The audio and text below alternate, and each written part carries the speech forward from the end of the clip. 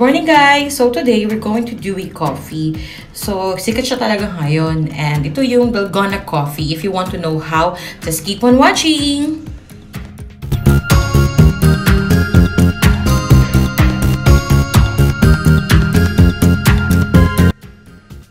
Welcome guys again! So, ito yung mga kailangan natin para sa ating Dalgona Coffee. So, let's start with 2 sachet of coffee, 2 tablespoons sugar brown, 2 tablespoons of water, milk, and syempre cube ice. Next, use bowl to mix all the mixture. Ilagay lang ang dahan-dahan guys. So, magsimula sa dry hanggang sa yung mga liquid form.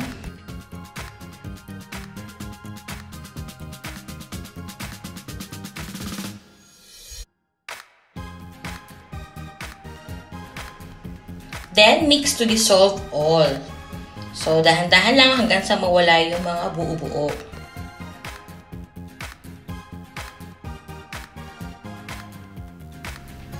Next, use whisk para mag-whipping. And alam niyo ba guys that this drink originates from India, Pakistan, and Macau. And they also call this as whipped coffee or beaten coffee. And may isang actor na nag-travel to Macau and he tried this coffee. And binigyan ng nickname na Dalgona because it resembles sa sponge candy na meron din sila sa Korea. Galing, di ba?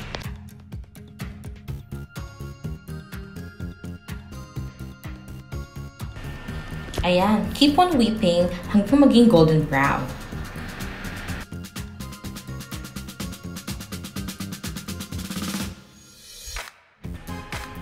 Yay! Meron na tayo! We already achieved it!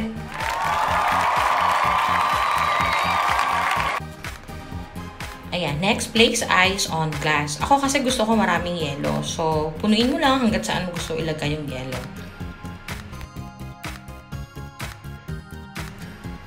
Next, yung milk.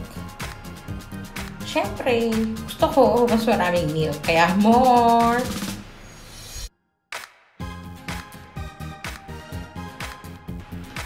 Then, finally, yung mixture natin na ginawa. So, lagay mo lang siya sa taas. While doing this, naisip ko na hindi pa naman tayo pwedeng pumunta sa mga cafe. We can do it at home and share it with our family members as we stay inside for our safety. Ayan, meron na tayong Dalgona Coffee. So, madali lang siya gawin, di ba guys? So, hindi naman siya ganun kahirap. And I think everyone can do it. So, itong husband ko, tuwang-tuwa siya sa ginawa namin. And pinag-help talaga siya sa paggawa. So, sobrang creamy. And I think everyone will will love this. So guys, gawa na rin kayo. And comment down below kung ano yung experience nyo. Thank you!